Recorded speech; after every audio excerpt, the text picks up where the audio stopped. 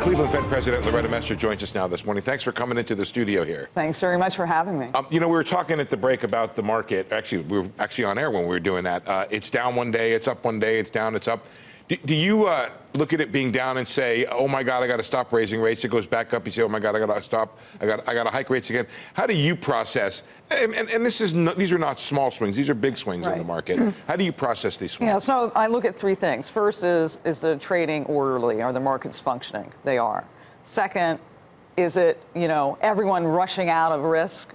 Is it a panic? Is it a you know pessimism, overly pessimistic? Doesn't seem to be. There's buying and selling in the market.